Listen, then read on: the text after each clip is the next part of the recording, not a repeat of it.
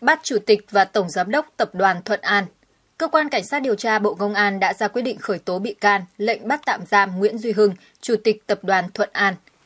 Ngày 15 tháng 4, Cơ quan Cảnh sát điều tra Bộ Công an đã ra quyết định khởi tố bị can, bắt tạm giam đối với Nguyễn Duy Hưng, Chủ tịch Công ty Cổ phần Tập đoàn Thuận An để điều tra về tội vi phạm quy định về đấu thầu, gây hậu quả nghiêm trọng. Viện Kiểm sát Nhân dân tối cao đã phê chuẩn các quyết định và lệnh tố tụng trên. Bị can Nguyễn Duy Hưng bị bắt trong quá trình Cục Cảnh sát điều tra tội phạm về tham nhũng, kinh tế buôn lậu C03 điều tra vụ án vi phạm quy định về đấu thầu gây hậu quả nghiêm trọng, đưa hối lộ, nhận hối lộ xảy ra tại công ty cổ phần tập đoàn Thuận An và các đơn vị, tổ chức có liên quan. Cùng vụ án C03 ra quyết định khởi tố bị can thực hiện lệnh bắt tạm giam ông Trần Anh Quang, Tổng Giám đốc Công ty Cổ phần Tập đoàn Thuận An về tội đưa hối lộ. Ông Nguyễn Khắc Mẫn, Phó Tổng Giám đốc Tập đoàn Thuận An, bị C03 khởi tố bắt tạm giam về tội vi phạm quy định về đấu thầu gây hậu quả nghiêm trọng và nhận hối lộ. Cơ quan điều tra cũng khởi tố bị can thực hiện lệnh bắt tạm giam hai cán bộ của Ban Quản lý Dự án Đầu tư xây dựng các công trình giao thông, nông nghiệp tỉnh Bắc Giang, gồm Nguyễn Văn Thạo, Giám đốc Ban và Đàm Văn Cường, Phó Giám đốc Ban. Cả hai bị can trên bị điều tra về tội vi phạm quy định về đấu thầu, gây hậu quả nghiêm trọng. Riêng ông Thạo bị điều tra thêm tội nhận hối lộ sau khi Viện Kiểm sát Nhân dân tối cao phê chuẩn các quyết định và lệnh trên, C03 đã tống đạt các quyết định tố tụng, thi hành lệnh bắt bị can để tạm giam, lệnh khám xét những người trên để phục vụ điều tra. Hiện cơ quan cảnh sát điều tra Bộ Công an đang tập trung lực lượng mở rộng điều tra, làm rõ hành vi vi phạm của các bị can, sai phạm tại công ty cổ phần tập đoàn Thuận An và các đơn vị, tổ chức, cá nhân có liên quan để xử lý nghiêm theo quy định của pháp luật và thu hồi triệt để tài sản.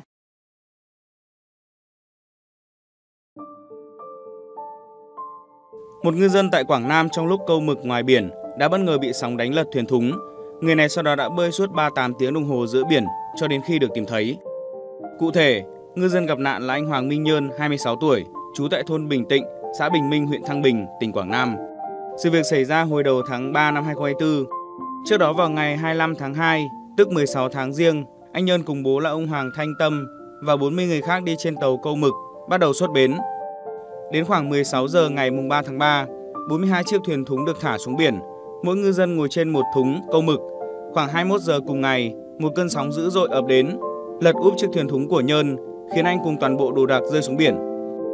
Thời điểm xảy ra sự việc, anh Nhơn cố gắng chui ra ngoài, lợi dụng con sóng ập tới, cố hết sức lật chiếc thuyền thúng nhưng không thành công. Trong lúc hoảng loạn, anh tìm được nửa chiếc áo phao và một chiếc phao định dạng. Khi vừa đeo lên người thì chiếc thúng chìm hẳn. Sau khi kêu cứu bất thành, Hoàng Minh Nhơn đã lần theo ánh sáng lờ mờ của một con tàu phía xa để xác định hướng bơi. Tuy nhiên, khi bơi được nửa đường thì con tàu lại chuyển hướng khác. Sau nhiều giờ lênh đênh trên biển, Nhơn bắt đầu uống từng ngụm nhỏ nước biển vì quá khát. Khi trời sáng, Nhân cố gắng đưa mắt tìm kiếm tàu thuyền ở gần để cầu cứu. Cuộc vật lộn giữa biển cứ thế kéo dài suốt 38 giờ đồng hồ. Đến trưa ngày 5 tháng 3, một tàu đánh cá Bình Định đi ngang qua phát hiện ngư dân tím tái vật lộn giữa biển nên cứu vớt. Sau khi được sơ cứu, Nhân cố gắng dùng chút sức còn lại, viết tên tuổi, số hiệu liên lạc tàu rồi ngất lịm. Từ khi phát hiện con trai mất tích, ông Hoàng Thanh Tâm, bố của Nhân, cùng nhóm ngư dân đã tích cực tìm kiếm. Suốt hai ngày đêm ông Tâm không ngủ cho đến khi nhận được thông tin từ tàu đánh cá Bình Định. Ngay khi tiếp nhận thông tin, các y bác sĩ của tàu cứu nạn thuộc Trung tâm phối hợp tìm kiếm cứu nạn hàng hải khu vực 2 đã đưa nạn nhân lên tàu và chuyển bệnh nhân đến cấp cứu tại bệnh viện Đà Nẵng.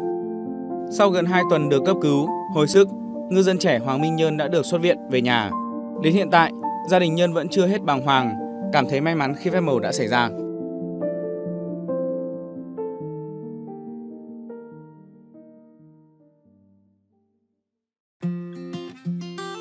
Một cụ ông tại Sóc Trăng cách đây 10 năm đã bỏ ra số tiền 30 triệu đồng để mua một gốc cây cổ thụ. Người này sau đó tiếp tục chi thêm 3 tỷ đồng để chăm sóc. Đến hiện tại, gốc cây lớn hàng nghìn năm tuổi đã được trả giá lên đến 32 tỷ đồng.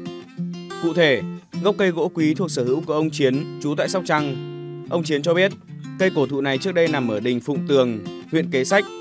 Năm 2014, khi nhà nước làm đường Nam Sông Hậu, tức quốc lộ 91B, do bị ngập nước mưa nên cây bàng cứ chết dần. Ông Chiến sau đó mua lại gốc cây với giá 30 triệu đồng, đem về trưng bày trong nhà xưởng rộng hơn 600 m2. Để gốc cây trở nên đẹp và có giá trị kinh tế, ông Chiến đã thuê hơn 10 công nhân chăm sóc, đồng thời bỏ ra hơn 100 triệu đồng mua 10.000 lít dầu và thuốc trị muối mọt. Đến hiện tại, chỉ còn hai người chăm sóc gốc cây hàng ngày Ước tính chi phí ông Chiến đã bỏ ra khoảng 2 đến 3 tỷ đồng. Trước đó vào năm 2016, một khách du lịch ở Khánh Hòa đã ngỏ ý mua gốc cây với giá 8 tỷ đồng, sau đó trả 10 tỷ đồng nhưng ông Chiến không đồng ý bán.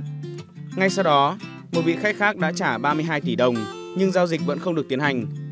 Đến hiện tại, cụ ông U80 mong muốn nhượng lại cho người trân trọng và có duyên với gốc cây này. Dự kiến sau khi bán được gốc cây cổ thụ, ông Chiến sẽ trích một phần tiền làm từ thiện, giúp đỡ người dân gặp khó khăn.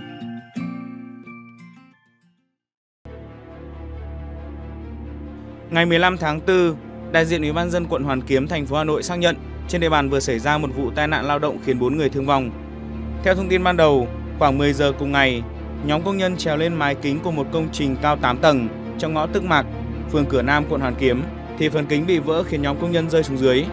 Vụ việc khiến hai người tử vong, hai người bị thương. Qua xác minh ban đầu xác định, căn nhà dạng hình ống có diện tích 148 m2. Chủ đầu tư đã tự thuê thợ vào sửa chữa mái kính tại khu vực giếng trời có diện tích 18 m2 thì xảy ra sự việc.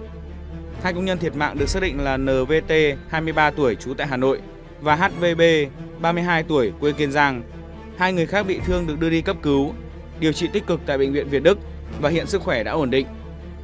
Sau khi vụ việc xảy ra, Ủy ban dân quận Hoàn Kiếm đã chỉ đạo triển khai phương án khắc phục hậu quả, thăm hỏi, hỗ trợ nạn nhân, đồng thời giao công an quận Hoàn Kiếm điều tra, làm rõ nguyên nhân sự cố.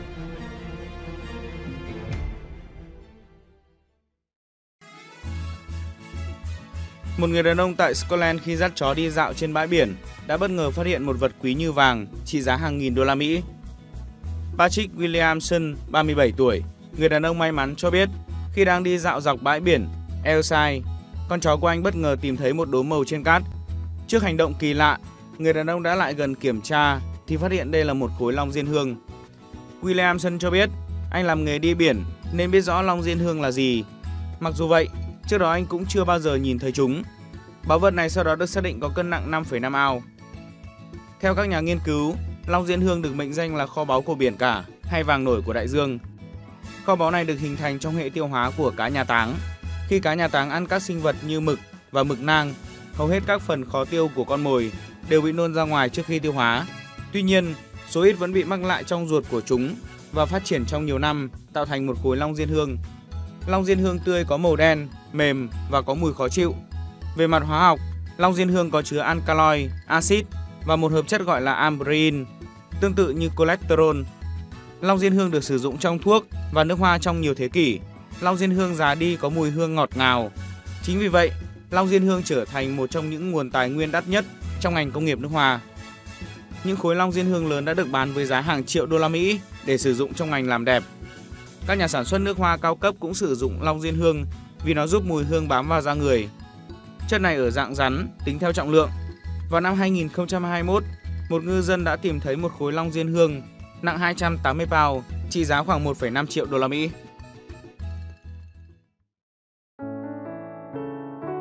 Đến hẹn lại lên, người dân Trung Quốc vào mỗi dịp Tiết Thanh Minh lại cùng nhau đi tảo mộ. Như đã thành thông lệ, nhiều người trong số này mang cả những đồ vật khổng lồ như máy bay, xe tăng, siêu xe đến buổi lễ và năm nay cũng không phải ngoại lệ. Trong những hình ảnh được đăng tải mới đây, hàng trăm người dân đã đến nghĩa trang tập thể ở tỉnh Quảng Đông để tảo mộ trong ngày Tiết Thanh Minh. Đáng chú ý, thay vì mang những món đồ cúng lễ nhỏ gọn, thì người dân lại chọn cách mang rất nhiều đồ cúng siêu to, siêu khổng lồ, bằng giấy bao gồm máy bay, xe tăng, ô tô, xe máy, tủ đựng đồ, ghế sofa, thậm chí là cả bếp ga và tủ lạnh.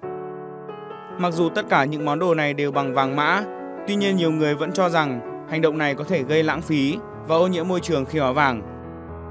Theo người dân Trung Quốc, Tiết Thanh Minh hay Tết Thanh Minh còn được gọi là lễ tảo mộ, diễn ra vào ngày thứ 15 sau xuân phân theo lịch âm của quốc gia này. Tên của Tết Thanh Minh bắt nguồn từ câu nói thực vật sinh sôi và phát triển vào ngày tươi mới. Do đó, Tết Thanh Minh theo nghĩa đen, nghĩa là sạch sẽ và tươi sáng, đánh dấu sự khởi đầu của mùa xuân cho công việc đồng áng. Tại một số nước châu Á, Tết Thanh Minh được coi là ngày nghỉ lễ bởi tính trang trọng và ý nghĩa. Được biết, không chỉ riêng người dân ở khu vực Quảng Đông mà hầu hết các tỉnh thành ở Trung Quốc đều ưa chuộng đốt giấy tiền vàng mã. Họ tin rằng người quá cố cũng cần những thiết bị tương tự như người sống để phục vụ cuộc sống.